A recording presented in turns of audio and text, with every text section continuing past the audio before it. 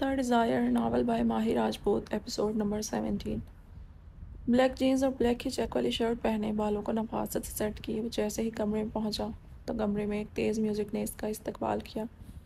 सामने ही dressing mirror के सामने खड़ी अब्रिश मलिक को देखकर इसके लब मुस्कुरा उठे। कहाँ की तैयारी है मैडम? लियो ने अब्रिश से इस्तफसार किया, कहीं भी नहीं, बस यूँ ही। सोचा बालों को ब्रश कर लूँ जितनी बनी बनी फिर रही हूँ। अब्रिश ने मुस्कुराने की कोशिश करते कहा हाँ कब तक ऐसा चलता रहेगा अब्रिश? लियो ने अब्रिश के गाल पर आती बालों की लटकों का इसके कान के पीछे अड़सा और इसके कंधे पर अपने दोनों हाथ रखते सवाल किया, समझी नहीं मैं। अब्रिश ने लियो से इस इस्तफसार किया और फिर नज़र चुरा गई। एक साल हो चुका है अब्रिश खुद को तुमने इस हादसे के जेर असर कर रखा है। तुम्हारी अपनी कोई ज़िंदगी नहीं रही। क्यों खुद को इतना कमज़ोर बना दिया है? तुम तो बहुत स्ट्रांग हुआ करती थी। लोगों से मेल जोल रखा करती थी, मगर अब खुद को इस अपार्टमेंट में कैद किए बैठी हो। बाहर निकलो, लोगों के साथ बैठो हल्ला गुल्ला करो, जैसे पहले किया करती थी। लियो ने इसे चेयर पर बिठाते कहा और फिर इसके कदमों में बैठ गया। अब्रिश ने प्यार भरी नज़रों से इसकी जानब देखा और मुस्कुरा उठी। वो शख्स वाकई हर रिश्ते को बड़े मान से, बड़े स्वभाव से लेकर चलने वाला था। मेरा दिल बहुत उदास और मुर्दा हो गया है। मैंने खुद को कहीं बहुत पीछे छोड़ दिया है। एक वक्त था जब मुझे रौनकें पसंद थी। सबसे बातें करना, हंसना पसंद था, मगर अब मुझे वहशत होती है। इंसानों से, उनके रवैयों से, इन रौनकों से मैं तो अब ज़िंदा लाश बन चुकी हूँ, बस ज़िंदा लाश। मैंने अपने बच्चे को खोया है और मुझे लगता है कि इस बच्चे के साथ साथ मेरी साँसें भी छीन ली। जाविक हैदर शाह ने अब्रिशा कहते ही ड्रेसिंग रूम में घुस गई और फिर दरवाजे की पुछ से टेक लगाए। ज़मीन पर बैठती दोनों हाथों में चेहरा गिराए रोने लगी। मैं तुम्हारे एक एक आँसू का हिसाब लूँगा अब्रिश इन शाह हवेली वालों ने बहुत जुल्म किए हैं हम पर इनके जुल्मों की फहरिस्त तवील से तवील तर होती जा रही है और यह जुल्म जो जाविक हैदर शाह ने तुम पर किया है, इस जुल्म का बदला इसे चुकाना पड़ेगा। सूद समेत। लियो ने ऊँची आवाज़ में कहा और इसकी बात सुनकर अब्रिश की रीढ़ की हड्डी में खौफ की लहर जागी। वो लियो के इंतकाम का सोच कर ही काँप उठी थी।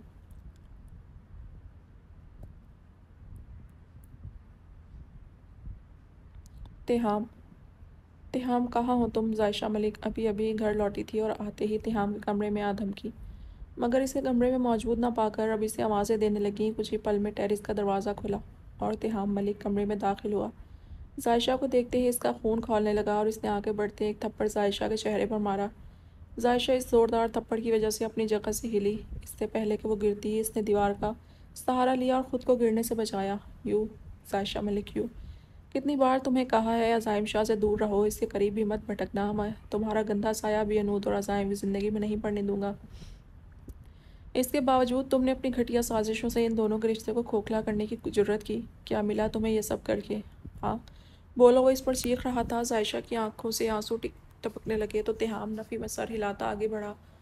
और इसे कंधे से थामे सोफे पर बिठाया और जायशा के चेहरे को अपने दोनों हाथों के प्याले में लेते इसे देखने लगा। वो लड़की जैसी भी थी, इसकी बहन थी, इसकी माँ का पर्दू थी। वो इससे तल्ख होने के बावजूद ज़्यादा देर नाराज़ नहीं रह सकता था। वो इसे गलत कामों से भी रोकना चाहता था और फिर जायशा से गोया हुआ। जायश, मेरी तरफ़ देखो। Look at your brother Tiham Malik ने मोहब्बत से इसे पुकारा।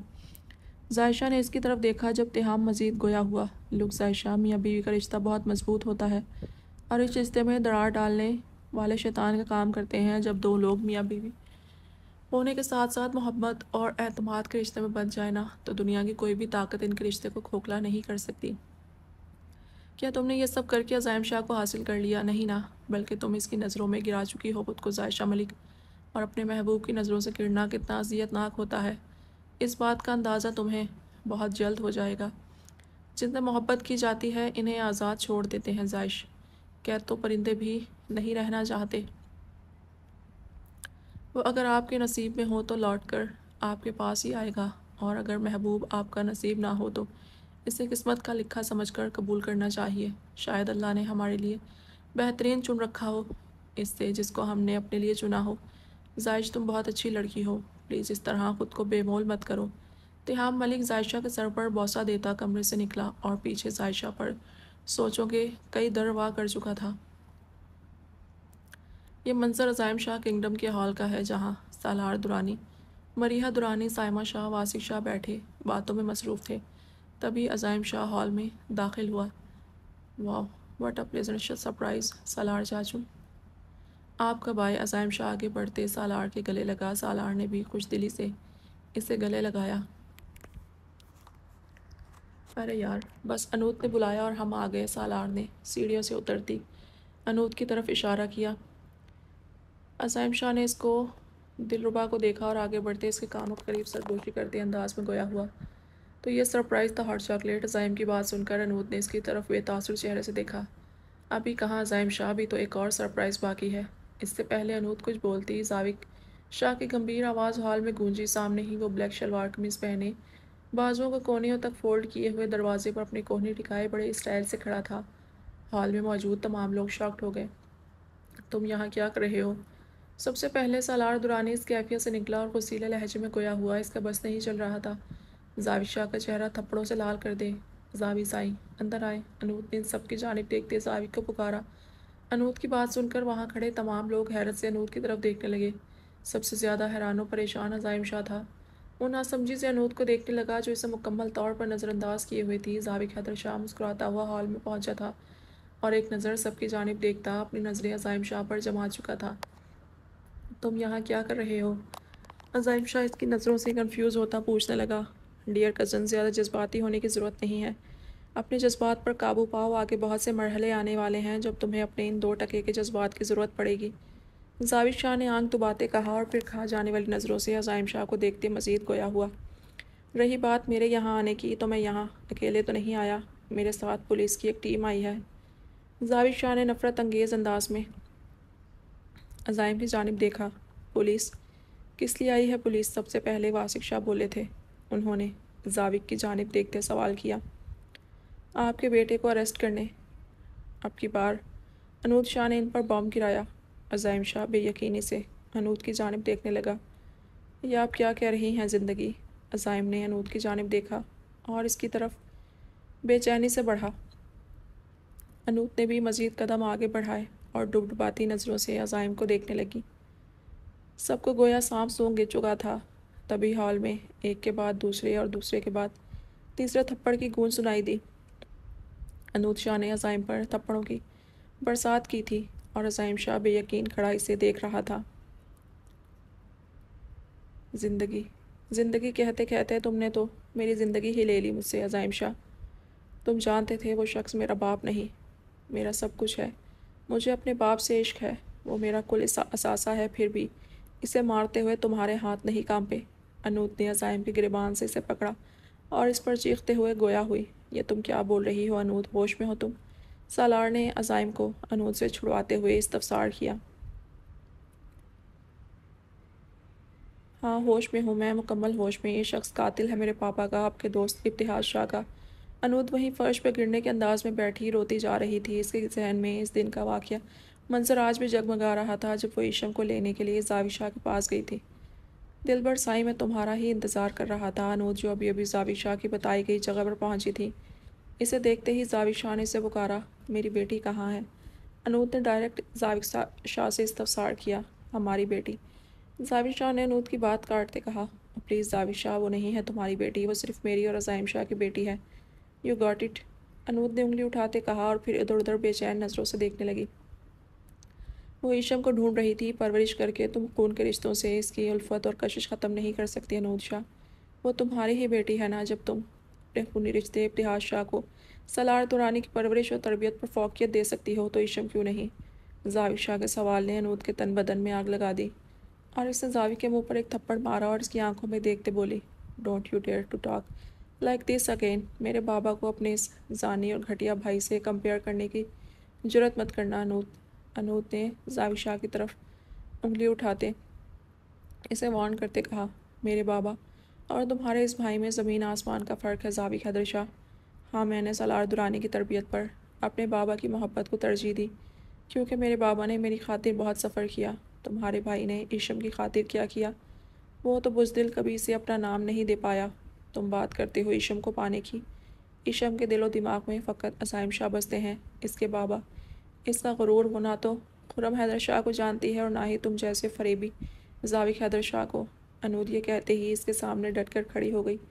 जाविक शाह को इसकी ये बहादुरी और दीदा दलेरी देखकर खुशी हुई और वो आगे बढ़ता अनूद की कमर में हाथ डाले इसे करीब करता बोला, बहुत खूब। काफ़ी गर्मी है तुम्हारे अंदर अनूद शाह। ये मत भूलो। दुनिया वालों की नज़र में तुम्हारी बहन इल्तफ़ात शाह, मेरे निकाह में थी और इल्तफ़ात की बेटी, मेरी बेटी। ज़ाहिर शाह ने बड़े आराम से वार किया था और इस वार पर अनूद तड़प उठी। यही तो वो खौफ था जिसने अनूद शाह की रातों की नींदें उड़ा रखी थी। मैं चाहूँ तो कोर्ट में अपनी बेटी का मुतालबा कर सकता हूँ। जाविद शाह ने एक आखिरी तीर फेंका जिससे रही सही कसर भी ख़त्म हो गई थी। तुम ऐसा कुछ नहीं करोगे, अनूद ने जाविक की तरफ़ देखते कामते हुए कहा। मैं ऐसा ही करूँगा जाविक ने भी। तरकीबा तरकी जवाब दिया। नहीं जावी साई प्लीज़ मेरी इशम के साथ ये जुल्म मत करना। वो टूट जाएगी। तुम जो बोलोगे मैं करूँगी। प्लीज़ मेरी बेटी को अपनी ज़िद की भेंट मत चढ़ाओ। मेरे बाबा मुझसे खफा हो जाएँगे। मैंने इनसे वादा किया था। इनकी इशम का ख्याल रखूँगी। अनूद शाह ने जावी के सामने हाथ जोड़ते कहा। वो बेबसी की इंतहा पर थी और ये बेबसी एक औरत की नहीं है लाचारी, ये बेबसी एक माँ की थी। अपनी औलाद को खोने का खौफ इसे जावी शाह के सामने हाथ जोड़ने पर मजबूर कर चुका था। ये बेबसी एक बेटी की थी, अपने बाप से किए वादे को वफा ना कर पाने के खौफ से काँप उठती अनूद शाह की थी। ठीक है अनूद मैंने तुम्हें इशम बख्श दी, मगर मेरी एक शर्त है। जाविद शाह ने अनूद की जानब देखते कहा। कौन सी शर्त? अनूद ने जावी की तरफ़ सवालिया नज़रों से देखा। तुम्हें अजाइम शाह से तलाक लेनी होगी। छोड़ दो इसे जावी शाह ने अनूद के असाम स्लिप कर लिए थे। नो, नेवर अनूद ने नफ़ी में सर हिलाया। ठीक है फिर। तुम्हारे पास पाँच घंटे का वक्त है, तुम सोच कर बताओ, तुम्हें ईशम चाहिए या अजाइम शाह? क्योंकि मेरे पास सबूत हैं कि ईशम अल्तफ़ात की बेटी है और पूरी दुनिया अल्तफ़ात शाह को मेरी बीवी के तौर पर जानती है। केस बहुत सिंपल है, मेरी बेटी को मैं तुमसे छीन लूँगा। जाविद शाह ने अनूद की तरफ़ देखते कहा और अनूद ने तड़प कर इसकी जानब देखा और पाँच घंटे के बजाय पाँच सेकंड लगे थे अनूद शाह को फ़ैसला लेने में। इब्तिहाज शाह की बेटी और इसम शाह की माँ के सामने अजाइम शाह की बीवी ने घुटने टेक दिए। वो बेटी और माँ बनकर सोच रही थी। अजाइम शाह की बीवी हार गई थी। जाविद शाह का यह दाव कामयाब हुआ था। इसने अनूद की तरफ़ देखते खुशी से कह कह लगाया, जाओ घर इशम पहुँच गई है। खैर, जाने से पहले एक ख़बर है तुम्हारे लिए, जिसे सुनकर तुम्हारे सर पर आसमान गिरेगा। जाविद शाह ने अनूद को देखते हुए कहा। अनूद बेतासुर चेहरे से इसकी जानब देखने लगी। अभी भी कोई आसमान गिराना बाकी रह गया है जाविद शाह कदमों से ज़मीन तो खींच ली। अनूद ने कांपते हुए कहा, ये रहे तुम्हारे डियर हजाइम शाह साई के करतूत की लिस्ट। जाविक ने अपनी पुश से एक फ़ाइल निकालते अनूद की तरफ़ बढ़ाई। मुझे मेरे शोहर पर ख़ुद से बढ़कर एतबार है, मुझे कुछ नहीं देखना। अनूद वो फ़ाइल गिराते हुए दरवाजे की तरफ़ बढ़ी। जब जाविक के अल्फाज ने इसके कदम चकड़ लिए कातिल है तुम्हारा शोहर, तुम्हारे बाप इब्तिहाज शाह का। अनूद, मेरी बात सुने। अजाइम शाह ने अनूद को पुकारा। वो जो ख्यालों में खोई थी, एकदम होश में आई। अजाइम शाह हसरत भरी नज़रों से इसे देख रहा था। वो दोनों ही फर्श पर एक दूसरे के रूबरू बैठे रो रहे थे। दोनों के दिल में अजियत का एक जहाँ आबाद था, अनूद ने अजाइम शाह को मुँह पर तमाचा मारा और इसे धक्का देते खुद से दूर किया और यकदम ज़मीन से उठी और बोली तुम कातिल। तुम कातिल हो मेरे पापा के। Yes Azaim Shah you are bloody murder वो चीख रही थी और अजाइम शाह इसकी बात सुनकर एक शौक के आलम में खड़ा था। दूसरी जानब जाविक हैदर शाह तमाम सबूत, सलार, दुरानी को दिखा रहा था, जो कि बेयकीनी से अजाइम को देख रहा था। अजाइम शाह ने अनूद को पुकारा। अनूद मेरी ज़िंदगी ये सब झूठ है, मुझ पर बेवजह इल्ज़ाम है। मैं कैसे अपने चाचू को मार सकता हूँ? अजाइम ने एक लफ्ज़ पर ज़ोर देते कहा। क्योंकि इब्तिहाज और तुम्हारे और अनूद की जल्दबाजी में किए गए निकाह पर पछता रहा था, क्योंकि तुम इसकी बेटी के लिए इसका बेहतरीन इंतखब साबित ना हो सके। क्योंकि तुम शाह हवेली के मकीनों से बदला ले रहे थे, तुम एक झूठे मकार और फरेबी इंसान थे अजायम शाह ने अब की बार सलार ने एक एक लफ्ज़ चबाते कहा। हाल में मौजूद तमाम नफूस चुप सादे खड़े थे, सब लोग बेयकीनी से अजायम शाह को देख रहे थे। रिया की आँखों से मुसलसल आँसू बह रहे थे, वो छः साल से इब्तहाज की मौत का मामा हल कर रही थी।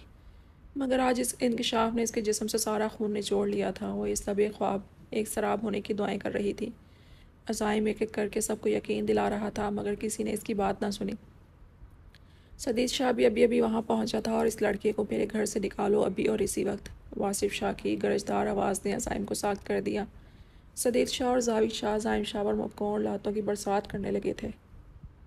अजाइम शाह की नज़रें मुसलसल अपनी बीवी पर टिकी थी, जिसकी आँखों में इसके लिए फ़कत हकारत और नफ़रत थी। साइमा शाह रो रही थी और वासिक शाह को अपने बेटे की बेगुनाही का यकीन दिला रही थी, जब पुलिस अजाइम शाह को अरेस्ट करके ले जा चुकी थी। कुछ ही पल में यह ख़बर न्यूज़ चैनल्स की जीनत बन चुकी थी। अजाइम शाह के किंगडम में अनूद और साइमा के रोने से गोया को हराम मच चुका था।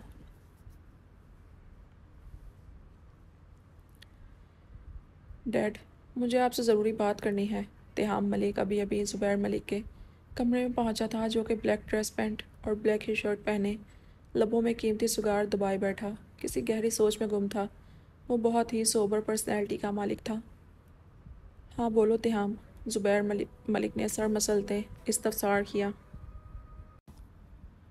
मुझे एक लड़की पसंद आ गई है, मैं इससे शादी करना चाहता हूँ, तिहाम मलिक ने अपने बाप के चेहरे को बगौर देखते कहा। गुड, कौन है वो लड़की? आपकी बार ज़ुबैर मलिक ने तिहाम की आँखों में देखते सवाल किया।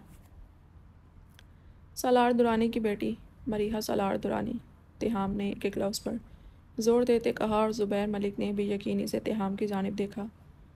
This is not possible impossible वो लड़की मेरे घर की बहू बनकर कभी नहीं आएगी। And that's all Zubair Malik ने साफ़ लफ्ज़ों में इनकार किया।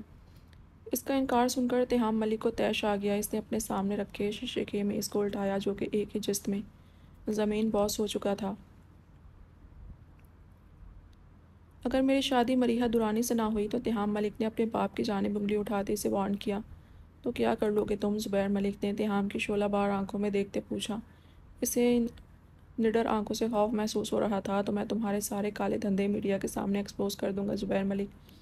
तिहाम ने एक लफ्ज़ पर ज़ोर देते कहा, यकदम इसके जहन में सालों पहले की एक बाज गश्त गूंजी। अगर साइमा, मेरी ना हुई तो मैं इस पूरे शहर को आग लगा दूँगा, ज़ुबैर मलिक के कान इस आवाज़ पर साएँ साएँ करने लगे। इसके वहमो गुमान में भी नहीं था कि सालों पहले लिखी गई दास्तान फिर से दोहराई जाएगी। सालों बाद फिर कोई लड़की किसी दीवाने की मोहब्बत की भेंट चढ़ेगी।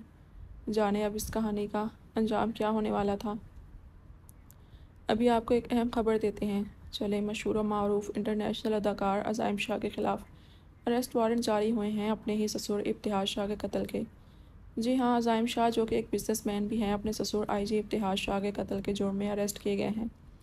टीवी एंकर चीख चीख कर खबर दे रही थी और अब्रिश मलिक गुस्से में मुठियाँ बींचती रिमोट फर्श पर पटकती। वहीं सर अपने दोनों हाथों में गिराए बैठ गई, इसकी हार्ट बीट फास्ट चल रही थी। इसने फ़ौरन से मरीहा का नंबर मिलाया, जो कि पहले ही रिंग पर पिक कर लिया गया था। इससे पहले कि अब्रिश कुछ पूछती, मरीहा की रोती सिसकती आवाज़ इसके कानों में गूंजी। अबर, शाह साई के कातिल का पता चल चुका है वो अजाइम शाह, मरीहा की बात काटते हुए। अब्रिश गोया हुई। झूठ है ये सब। वो ऐसा नहीं कर सकता अब्रिश ने भी यकीनी से कहा। जब मरीहा ने इसे आज होने वाले तमाम वाक़े के बारे में बताया अब्रिश ने खामोशी से मरीहा की सारी बात सुनी। और फिर गुस्से में सीढ़ियाँ चढ़ती अपने कमरे में गई और कुछ सोचते हुए, इसने अपनी वार्डरूब से अपना कार्ड निकाला और कार्ड हैंडबैग में रखती कमरे से निकली और कुछ ही देर में वो इस अपार्टमेंट के मास्टर बेडरूम में पहुँची। बिना नॉक किए वो कमरे में दाखिल हुई, जब एक मर्दाना गंभीर आवाज़ इसके कानों से टकराई। कितनी बार बोल चुका हूँ अब्रिश दरवाज़ा नॉक करके आया करो। एटिकेट्स नाम की कोई चीज़ आपकी डिक्शनरी में है, भी कि नहीं? अबिश मुकाबिल की। बात सुनकर चील की तेज़ी से इसकी तरफ़ बढ़ी लैम्प की रोशनी में। इस शख्स का वजीह चेहरा देख अबरिश का गुस्सा ठंडा हुआ। जब इसकी नज़र इसकी गोद में रखी, फ़ोटो फ्रेम पर पड़ी तो इसके गुस्से का गिराफ बढ़ गया। एटिकेट्स जाएँ भाड़ में। अगर मेरे भाई को कुछ हुआ ना, चीफ तो मैं आपके ख़ानदान की हस्ती हिला दूँगी। ये तुम और लियो मेरे ख़ानदान के पीछे क्यों हाथ धो के पड़े हो? और हुआ क्या है? तुम्हारे भाई को। चीफ ने अब्रिश की तरफ़ देखते इस्तफसार किया, आपकी बेटी ने मेरे भाई पर आपके कत्ल का केस किया है और इसे पुलिस के हवाले कर दिया है। आप जानते हैं आपके कत्ल का झूठा इल्ज़ाम लगा है मेरे भाई पर अब्रिश ने एक लफ्ज़ चबाते कहा। नहीं, ऐसा कैसे हो सकता है? तुम होश में नहीं हो, चीफ ने अब्रिश की बात की नफ़ी करते कहा। लियो को फ़ोन लगाओ, चीफ़ ने अगला हुक्म सादिर किया। Enough is enough chief Ibtahaj Shah. मुझे किसी लियो की हेल्प नहीं चाहिए, ये मामला मेरे और मेरे भाई का है। इसकी इज़्ज़त का है, मैं इसके मामले में अब किसी पर भरोसा नहीं करूँगी। इवन आप पर भी नहीं, वो ये कहते ही कमरे से बाहर निकलने लगी। पीछे इब्तहाज शाह अपना फ़ोन उठाए, कोई नंबर डायल करने लगा। ब्लैक ट्रैक सूट पहने, वो इस लंबी सड़क पर दौड़ रहा था। वो पिछले एक घंटे से रनिंग कर रहा था पच्चीस पसीने से शराबोर वजूद लिए, थका हारा वो अपने अपार्टमेंट पहुँचा। जब अपार्टमेंट में दाखिल होते ही इसका इस्तकबाल किचन में मौजूद बर्तनों की आवाज़ ने किया। वो नफ़ी में सर हिलाता किचन की तरफ़ बढ़ा। जी शहजादे तिहाम ज़ुबैर मलिक, याद आ गया कि आपका कोई एक अदद भाई भी है, इसने तंजिया अंदाज अपनाते हुए कहा। बाउल में दही फेंटते तिहाम मलिक के हाथ थम गए और वो मुस्कुराती नज़रों से सामने खड़े शख्स की जानब देखते गोया हुआ। जी कैप्टन वलीद ज़ुबैर मलिक, आपको इस एक्टर की ड्राइवरी से फुर्सत मिले तो आप घर की खबर लेना। मैं हर रोज़ यहाँ आता हूँ। तिहाम ने यह कहते ही आगे बढ़ते वलीद को गले लगाया। वलीद ने भी इसे अपने सीने में बेच दिया। दोनों जैसे ही एक दूसरे से अलग हुए, वलीद फ्रिज की तरफ़ बढ़ा और पानी की बॉटल निकाल कर मुँह से लगा ली। एक ही सांस में पानी पीने के बाद वो वहीं फ्रिज के पास रखी डाइनिंग चेयर पर बैठा गहरे सांस देने लगा। मैंने मरीहा से शादी का इरादा कर लिया है तिहाम की बात सुनकर वलीद चौंक उठा। Are you in your senses Waleed एकदम पकड़ गया। Yes I am in my senses ने हम ने एक लफ्ज़ पर ज़ोर देते कहा। उसका क्या होगा तिहाम वलीद ने एक लफ्ज़ पर ज़ोर देते कहा तिहाम की आँखों के सामने यकदम एक दिलकश सरापा जगमगाया और इसने नफ़ी में सर हिलाते कहा, उसका अल्लाह वारिस, ये कहते ही तिहाम मलिक, भी वहीं चेयर घसीट कर बैठा और फिर आँखें मूंदे, सर चेयर की पुश से टिका लिया। किचन में इन दोनों नफूस के बीच खामोशी छाई हुई थी। जायशा कैसी है? यकदम इस खामोशी को वलीद की आवाज़ ने चीरा। वैसे ही है जैसे आप छोड़ कर आए थे हमने। बिना आँखें खोले जवाब दिया। इसे समझाओ ना। वो अजाइम शाह सही की ज़िंदगी ख़राब ना करे वलीद की बात सुनकर तिहाम का हलक तक कड़वा हो चुका था। प्लीज़ वली भाई, बस कर दें आप आखिर क्यों करते हैं आप? इस एक्टर की इतनी परवाह। रिश्ता क्या है आपका इससे? यकदम तिहाम ने गुस्से में वलीद की तरफ़ देखते इस्तफसार किया। कुछ रिश्ते नाकबिल बयान होते हैं त्याम मलिक के रिश्तों को चाह कर भी हम कोई नाम नहीं दे सकते मगर इन रिश्तों में कशिश किसी खून के रिश्ते से भी बढ़कर होती है, वो रिश्ते हमारे लिए किसी कीमती असासे की मानद होते हैं, और मुझे अजाइम शाह से अकीदत का रिश्ता है, वो शख्स मेरे लिए किसी निजात दहिंदा रिश्ते से कम नहीं है, वो दोस्त नहीं है, मगर दोस्तों से बढ़कर करीब है मेरे, वो भाई नहीं है, मगर भाइयों के जैसे अज़ीज़ है मुझे, वलीद मलिक की बात सुनकर तिहाम मलिक ने कहका लगाया जी बिल्कुल, तभी अपनी ऐश बड़ी ज़िंदगी छोड़कर ड्राइवरी कर रहे हो? बहुत खूब। खैर, तुम्हारे लिए तुम्हारा बॉस असाइम शाह अपने चचा इब्तिहाज शाह के कत्ल के जुर्म में अरेस्ट हो चुका है और इसे अरेस्ट इसकी बीवी अनूज शाह ने करवाया है। तिहाम ये कहते ही किचन से निकला और पीछे वलीद के एहसाब मुकम्मल तौर पर मफलूज हो चुके थे।